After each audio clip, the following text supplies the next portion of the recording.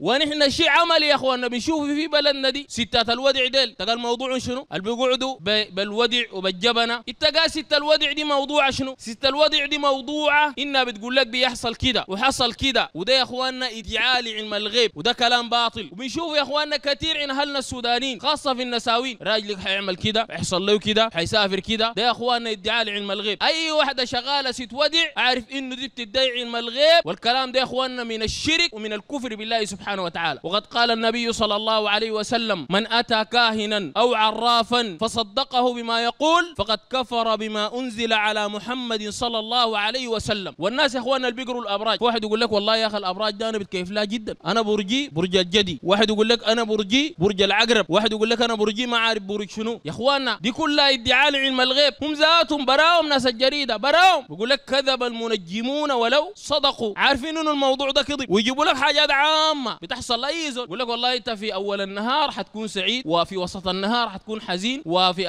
اخر النهار حتكون ما عارف شنو ما دي حاجات عاديه يعني اول النهار ما الدنيا بارده والناس مبسوطه في شنو ونص نهار الدنيا مسخنه والناس مسخنين فده اخواننا كلام باطل ساكت فما بيعلم الغيب الا ربنا سبحانه وتعالى لا الجريده بيعلم الغيب ولا الداعيه بتعلم الغيب ولا غيرهم بيعلموا الغيب